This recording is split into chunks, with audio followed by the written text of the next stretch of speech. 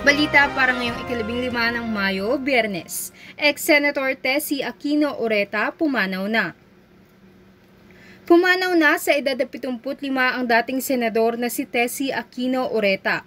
Kinumpirma ng kanyang anak na si Malabon Mayor Antolin Lenlen Oreta na sumakabilang buhay na ang dating senador nitong 10.48 ng gabi ng Webes.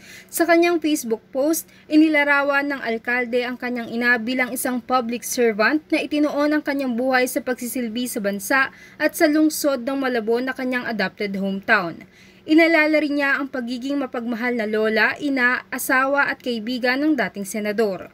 Hindi naman nabanggit ng alkalde sa kanyang post ang dahilan ng pagpanaw ng kanyang ina at sa halip ay humingi na lang ito ng dasal para sa yumaong dating senadora.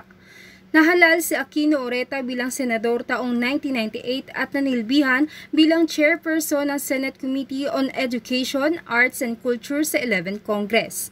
Bago siya maging parte ng mataas sa kapulungan ng Kongreso, nirepresenta niya ang distrito ng Malabon na vota sa Kamara sa loob ng tatlong magkakasunod na termino simula 1987 hanggang 1998. Ako si Joanna Deala para sa Philippine Canadian Inquirer.